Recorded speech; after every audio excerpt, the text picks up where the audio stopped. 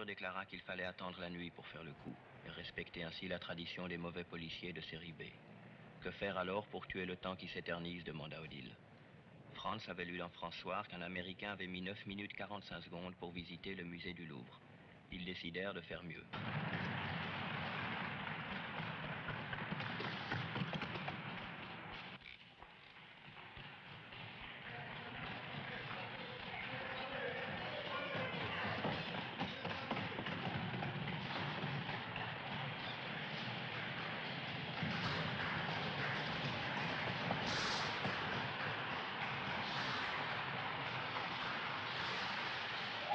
9 minutes 43 secondes, Arthur, Odile et Franz avaient battu le record établi par Jimmy Johnson de San Francisco.